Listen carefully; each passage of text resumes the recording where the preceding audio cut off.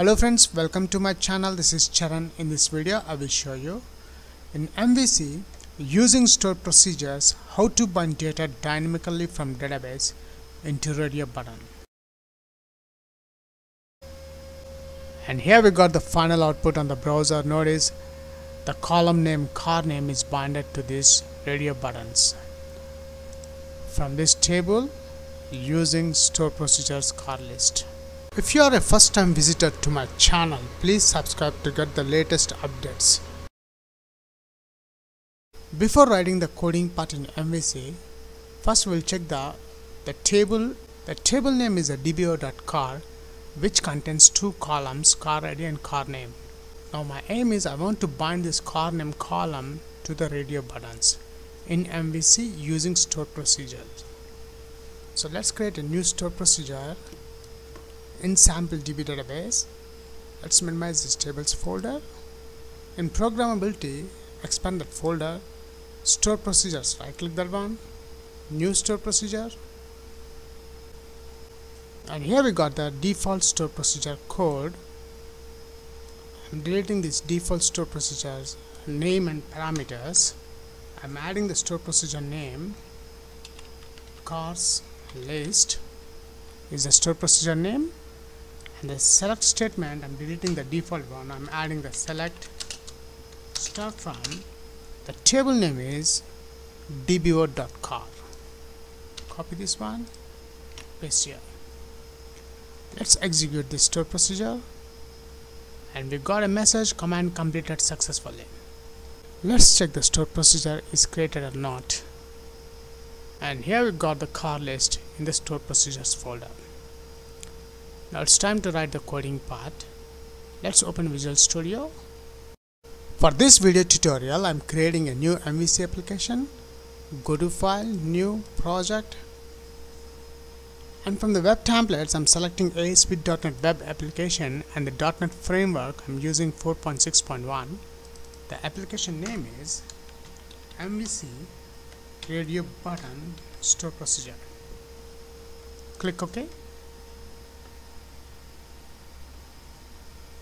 and from the templates I'm selecting MVC OK and the project is created successfully. Let's close this default window. Open Solution Explorer. Now in this project I'm adding a new controller in this controllers folder. Right click the controllers. Add controller. I'm selecting MVC5 controller empty. Add. And the controller name is click add. And here we got our controller cars. Passing in this controller I'm adding the namespaces of SQL server using system.data using system.data SQL client. The last namespace I'm adding using system.configuration. After adding these three namespaces, the next step I want to add the data source connection string in the web.config file. For that, let's open Server Explorer. In the data connections, right click that one, add connection. The server name, I'm adding my SQL server name. After adding SQL server name, I'm selecting the database name sample db test connection succeeded okay okay and the sample db.dbo is added under data connections now we need the data source of the sample db right click the sample db.dbo go to properties. In the properties and the connections there is a connection string which contains a data source. Copy that one. Open solution explorer. Come to the bottom. There is a web.config file. Open that one. In the web.config file there is already a connection strings what I'm doing I'm deleting this data source. And I'm adding the the data source which I have copied. And I'm changing the connection string name to my connection. After that switch to the controller. Now in the action result index which is get method I'm adding the string cars object list. In this list I'm adding select list item. Cars object is equals to new list. After that string main con is equals to configuration manager dot connection strings. Between double quotes I'm adding the connection string name which is my connection copy that one and paste here between the double quotes dot connection string SQL connection SQL con is equals to new SQL connection. I'm adding this main con object. After that SQL command SQL com is equals to new SQL command. Now in this SQL command method I'm adding my stored procedure name which is cars list is our stored procedure name. I'm adding between the double quotes comma and the second parameter is a connection object which is the SQL con copy this one and paste here.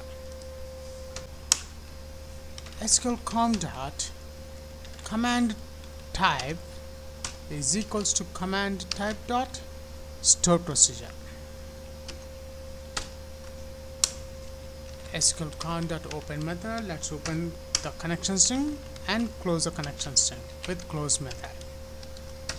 Now between this open and close SQL data reader SDR is equals to SQL com dot execute reader method.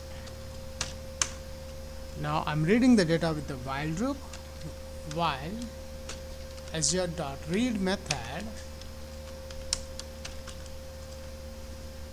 Now inside this while loop I'm adding the cars object the list cars object dot add method new select list item. Let's close this add method now in this add method I'm adding the text property is equals to SDR between double quotes. I'm adding the column name from the table. The column names uh, here. The car name copy this one. Paste here. The toString method comma. The next property I'm adding value is equals to SDR between double quotes. I'm adding the column name car ID copy this one. Paste here. Dot toString method. Now the final step I'm adding this cars object in the return view. That's it. We have done the coding part in the controller. Now we need the index view page highlight the index right click that one. Add view. The view name is index and template empty without model. Click add. And here we got our index view page. Now first thing add. I'm adding model. List class. Inside this list. Select. List item after that I'm deleting this default header tag. I'm adding center tag. H1 MVC how to bind data from database into radio button. Helper. Using store procedure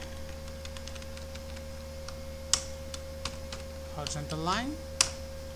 After the horizontal line I'm adding at for each loop variable x in model at html dot radio button helper I'm adding.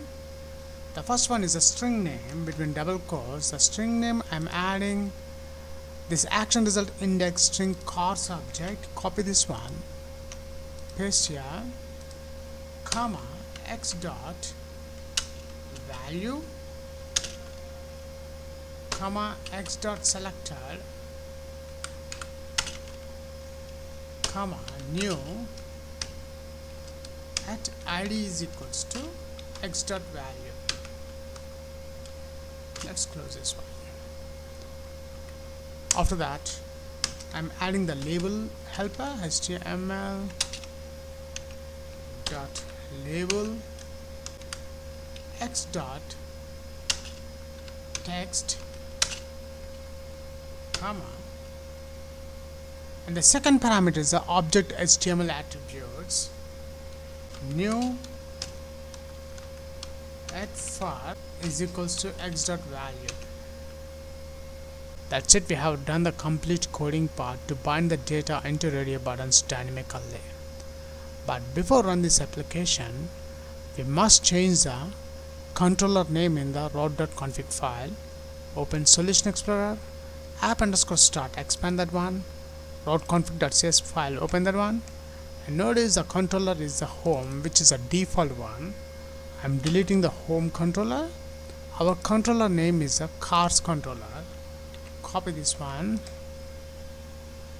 and paste here and the action result is the index only which is this page. That's it. Now it's time to check the results on the browser Google Chrome. And here we got the final output on the browser. Notice the column name car name is binded to these radio buttons. From this table using store procedures car list. That's it